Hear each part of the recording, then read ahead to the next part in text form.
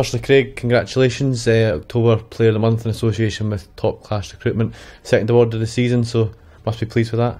I'm pleased with that. Uh, like you said, two two times this season. Uh, just want to make make sure I keep up the good performances, but most of all, I want to just we want to get back to winning uh, as a team. So we're looking forward to the game on Saturday.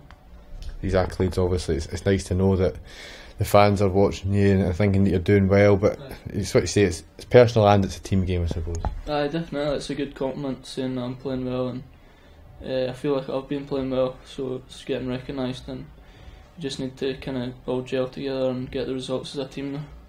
More often than not, this season we've seen you played more centrally than what we did last year. And obviously, last Saturday you're just in behind um, strikers. Is that a role that you enjoy?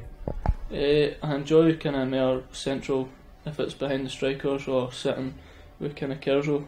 Kind of feel like I get more of the ball, so I can kind of dictate the game a bit more. So I've been enjoying that this season, and hopefully I can just keep playing that.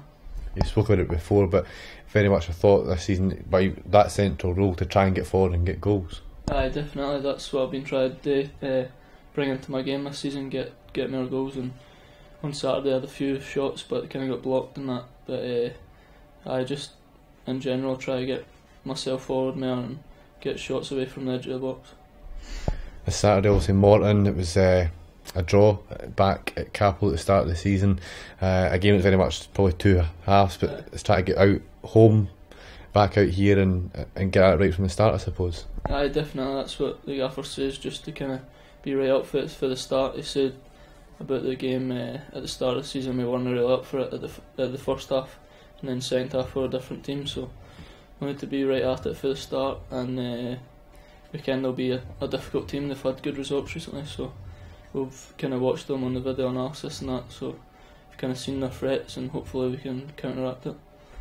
Obviously, training this week it's kind of going back because you did two defeats in a row, but they're very different defeats in terms of. I suppose you kind of feel a bit unjust last weekend. Probably could have got a point out of the game. I felt like a point was kind of a fair result.